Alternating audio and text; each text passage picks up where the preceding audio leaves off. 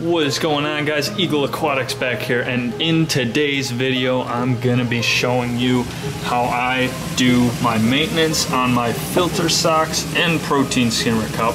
How I do my maintenance on my filter sock without using bleach or a washing machine. So this should be an awesome video for those of you who don't want to use your washing machine because it's gross um, or that don't want to use bleach. Um, so make sure to stay tuned to the end of this video because there is a giveaway happening. That's right, there's a giveaway from a company and it's pretty cool. All right guys, we are down here in the fish maintenance room uh, down in my basement with the sink and here is the old filter sock, completely gross. Um, so I'm gonna be showing you guys how to clean your filter socks really fast so you don't have to do them in a washing machine or use bleach because uh, me personally, my parents won't let me put them in the washing machine. I'm not gonna buy another washing machine just for filter socks. That's a waste of money. And I also don't like using any sort of deadly chemicals that could become deadly, uh, like bleach. But I know a lot of people use bleach and I know that's a proven method, so I'm not gonna bash that. I'm just gonna show you guys how to do it without using that. I've uh, I found out my method, it works great. Uh, my levels are all at near zero nitrates, phosphates, and I rotate, rotate between four filter socks. I change mine every three to four days depending on how dirty I see them get. And uh, it works pretty good for me. So follow along guys, I'll show you how to do it. Here we go. See this ring on the top? That's where my water level is. And that's where the bubbles come up so the most crap gets stuck up there. And when you flip it inside out, you can't get up there. So I'm gonna, I do this, go around a couple times with my thumbs, just scrub that top line, dirty top line.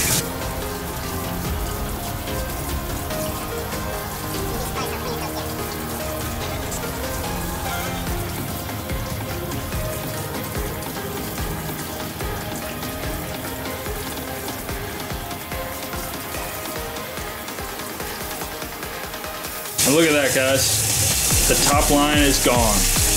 Just by using my thumbs and going in a circle. It works great.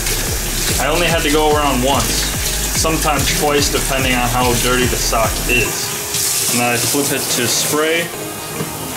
Spray the inside of the sock so all the, most of the bigger stuff goes to the bottom. And then flip it inside out. like that. Down there. Now lightly go over it, the inside, so all the stuff goes out the bottom. a lot of stuff does come off when you just do this. Now we'll go on the outside. Squeeze it a couple times.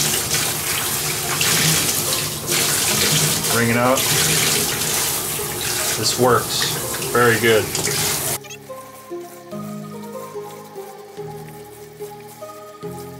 Usually, guys, depending, because I like them really clean, I'll use um, probably three to five minutes. Usually like three minutes. Just wringing it out like this. Because a lot of stuff gets out and it works.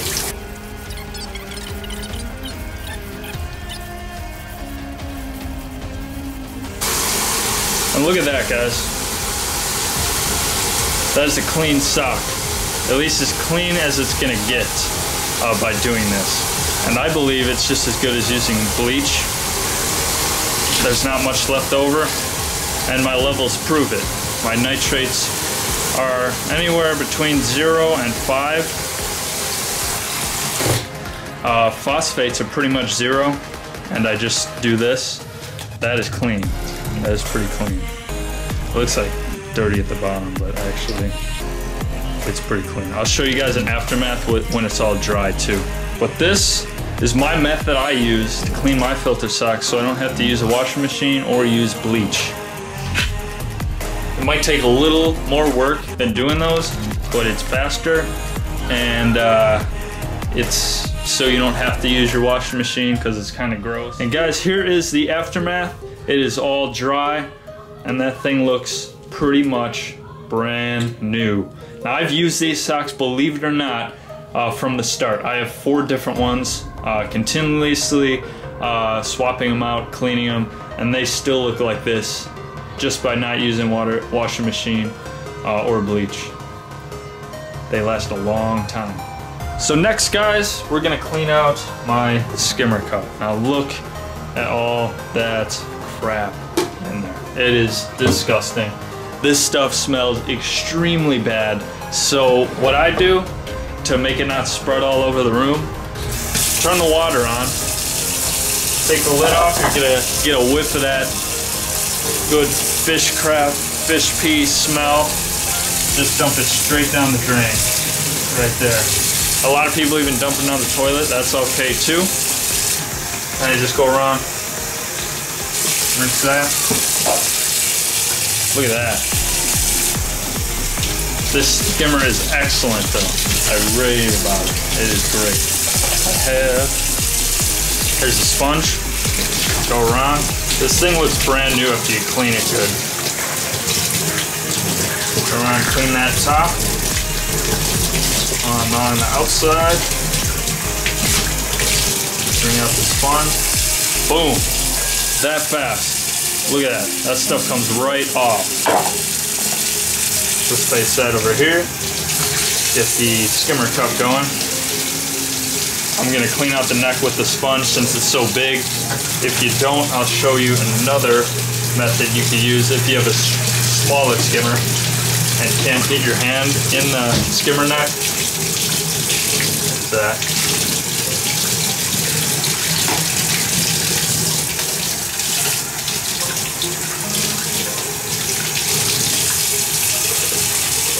Skimmer neck is clean. Now we gotta get to the inside of here. If you have a smaller skimmer that's not as big as mine, you can't fit your hand in the neck to get it with a sponge, use one of these. Wire uh, little bristle brushes for cleaning. They sell them at like any local fish store or PetSmart or anywhere. Uh, I like to use this to clean around the cup itself. How I do that. Turn the water back on. Yeah, but this is great. You go in like that, clean it out. What I do, set it down there, go around in a few circles. This doesn't scratch the acrylic, at least not mine. Go around in there, a little more on the neck. Wash it out a few more times. Clean that off, and boom. That's all it takes. Do maintenance on your skimmer whenever it starts getting dirty or you see as much as what was in mine. Uh, it's really easy, it doesn't take long at all. And it just makes your skimmer more effective to remove more stuff in your water. So then I always like to dry it off, dry the outside, make it look good.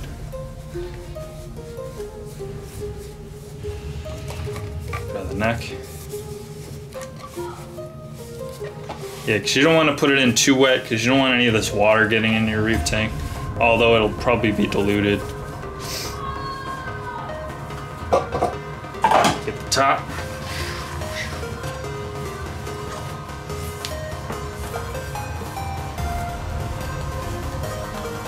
Clean.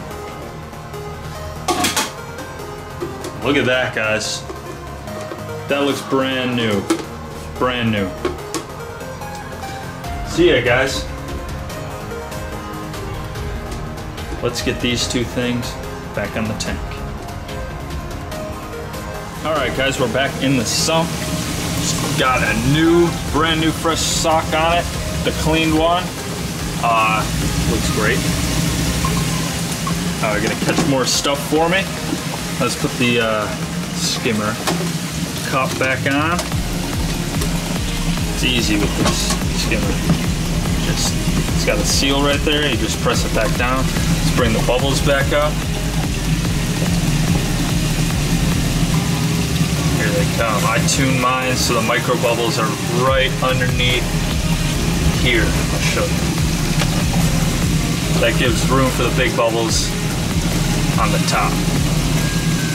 And it does, it's not hard at all. See the line of micro bubbles? Right there, there's a color difference down there. The darker one I like having right it there. So it is perfect right now. So yeah, let that skimmer go back to work. Look at that, it looks brand new though. And it's really easy. New sock. Well, all right guys, that has been uh, how I clean out my filter socks and my skimmer cup.